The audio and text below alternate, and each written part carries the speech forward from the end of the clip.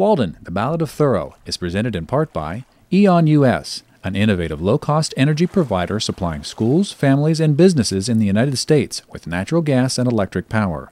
You can learn more about our educational and green initiatives online at eon us.com. By Earth Day Network in Washington, D.C., coordinating Earth Day activities worldwide since 1970. To have your school or group participate, you can visit us online at earthday.net. By American Forests, protecting America's trees and forests since 1875. American Forests is online at americanforests.org.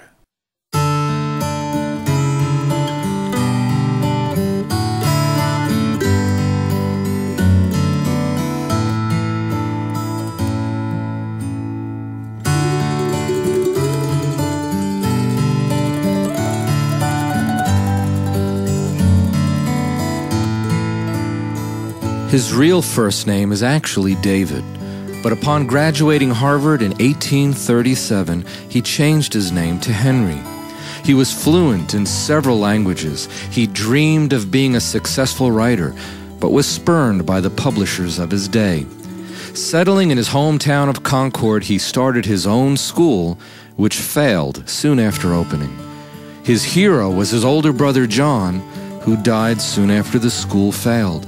His passing devastated Henry, so he returned to work in his family's pencil factory. Falling in love with his late brother's girlfriend, Henry proposed to Ellen Sewell, who turned him down. The saddened and depressed Henry retreated to the beloved woods that gave him so much comfort. While cooking fish over a small campfire, he accidentally started a forest fire and burned down a hundred acres of woods near Concord. Humiliated and angry, he went to work as a caretaker and tutor for the children of his friend, the great writer Ralph Waldo Emerson. After failing to pay his taxes, the city officials put him in jail. After his release and with Emerson's help, the 28 year old failed writer Henry David Thoreau escaped society by building a small cabin deep in Walden Woods to write a book in tribute to his brother John. Hi, I'm Michael Johnathon, folk singer, tree hugger. I wrote the Walden play. I wrote it because I wanted my kids to meet a hero of mine, Henry David Thoreau. The setting is 1847, it's September. Henry just spent the last two years, two months, and two days of his life in a little cabin that he built. It was on a piece of property that Ralph Waldo Emerson had loaned for his use so he could have this great experiment, leaving society, leaving the world around him to write, to really contemplate nature, and to take life down to its very barest of essentials, as he put it. In an age of oil wars and global warming concerns, hybrid cars, biofuels, what Thoreau wrote is so vital for our day. It's just that people have heard his name, they've maybe heard a quote or two, they don't really know anything about the man. So, this is a play about his life, this is a play about his spirit and what he wrote. We're going to begin our journey, though, with some facts about Thoreau and his life. First thing we want to do is visit the actual replica of the actual cabin that he lived in for those two years. It's right over this hill, so just follow along with me. It's kind of cool to check out. It's a beautiful autumn day. We're at Walden Pond, not too far out of Boston, Massachusetts. It's a real place, it's a real pond.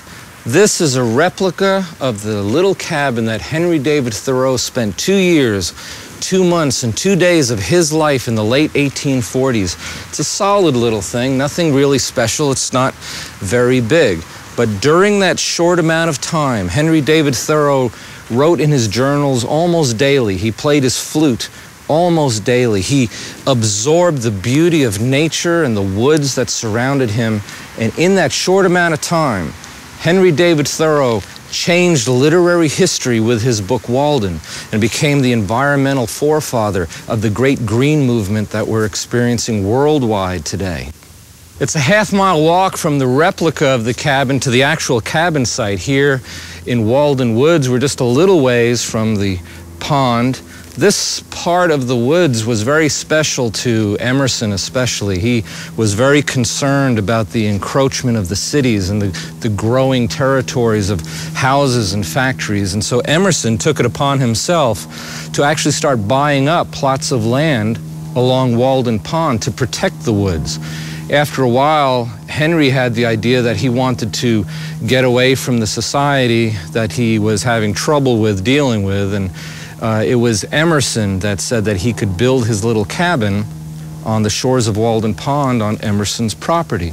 This is the actual site that Henry built his cabin, and it's a beautiful section of the woods. Back here, he took soil from the hillside and brought it forward by hand and created a nice level platform for his cabin.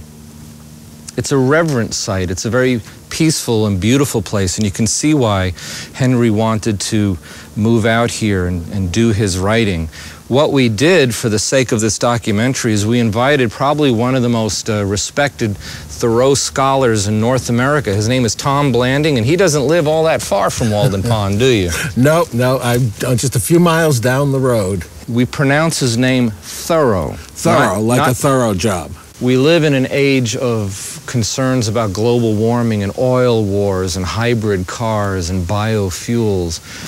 Uh, Thoreau really saw this coming. He may not have envisioned it as we see it today, but he saw the value of nature and its decimation as something serious. Yes, he was a prophet without honor in his own country uh, because his reputation, it took several generations for his reputation to uh, develop after his death. He was so far ahead of his time. So he, he was not recognized as a successful writer while he was alive? No. Uh, his first book, A Week on the Concord and Merrimack, the publisher returned the bulk of that edition of 1,000 copies to Thoreau, unsold. It didn't sell. Yeah, yeah it, published at his own expense. And, and, and Wal Walden was not a big seller. No, it wasn't a big seller either, but that first book, he, he took all those unsold copies and piled them up in his... Uh, attic study in his parents' home. And at the end of the day, he sat down to his journal and said, I now have a library of nearly 900 volumes, over 700 of which I wrote myself.